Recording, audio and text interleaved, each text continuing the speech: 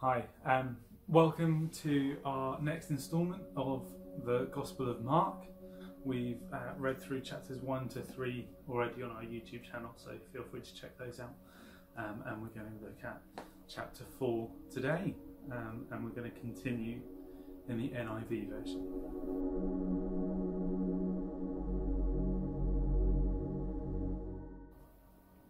Again, Jesus began to teach by the lake. The crowd that gathered round him was so large that he got into a boat and sat in it on the lake, while all the people were along the shore at the water's edge. He taught them many things by parables, and in his teaching said, Listen, a farmer went out to sow his seed. As he was scattering the seed, some fell along the path, and the birds came and ate it up. Some fell on the rocky places, where it did not have much soil. It sprang up quickly, because the soil was shallow. But when the sun came up, the plants were scorched, and they withered because they had no root. Other seed fell among the thorns, which grew up and choked the plants, so that they did not bear grain. Still, other seed fell on good soil. It came up, grew, and produced a crop some multiplying 30, some 60, some a hundred times. Then Jesus said, Whoever has ears to hear, let them hear. When he was alone, the twelve and the others around him asked him about the parables. He told them, The secret of the kingdom of God has been given to you, but to those on the outside, everything is said in parables, so that they may be ever seeing but never perceiving and ever hearing but never understanding. Otherwise, they might turn and be forgiven. Then Jesus said to them, Don't you understand this parable? How then will you understand any parable? The farmer sows the word. Some people are like seed along the path, where the word is sown. As soon as they hear it, Satan comes and takes away the word that was sown in. Others, like seeds sown on rocky places, hear the word and at once receive it with joy. But since they have no root, they only last a short time. When trouble or persecution comes because of the word, they quickly fall away. Still others, like seeds sown among thorns, hear the word, but the worries of this life, the deceitfulness of wealth, and the desires for other kingdom, other things, come in and choke the word, making it unfruitful. Others, like seed sown on good soil, hear the word, accept it, and produce a crop, some thirty, some sixty, some a hundred times what was sown.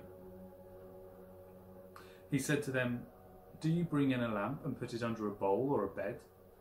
Instead, don't you put it on its stand?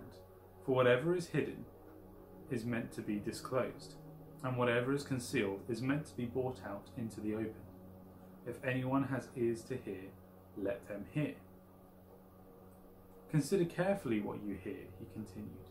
With the measure you use, it will be measured to you.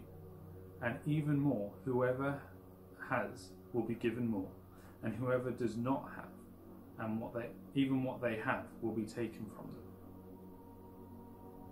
He also said, This is what the kingdom of God is like.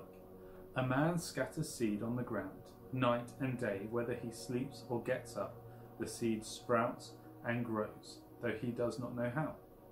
All by itself the soil produces corn, first the stalk, then the ear, then the full grain in the ear.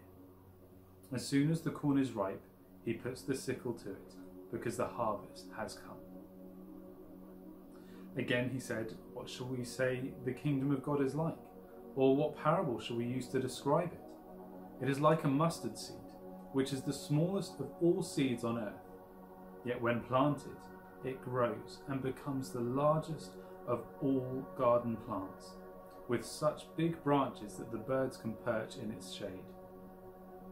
With many similar parables, Jesus spoke the word to them as much as they could understand. He did not say anything to them without using a parable. But when he was alone with his own disciples, he explained everything. That day, when evening came, he said to his disciples, Let us go over to the other side. And leaving the crowd behind, they took him along just as he was in the boat. There were also other boats with them. A furious squall came up, and the waves broke over the boat, so that it was nearly swamped. Jesus was in the stern, sleeping on a cushion. The disciples woke him and said to him, Teacher, don't you care if we drown? He got up, rebuked the wind, and said to the waves, Quiet, be still. Then the winds died down, and it was completely calm. He said to his disciples, Why are you so afraid? Do you still have no faith? They were terrified and asked each other, Who is this? Even the wind and the waves obey him.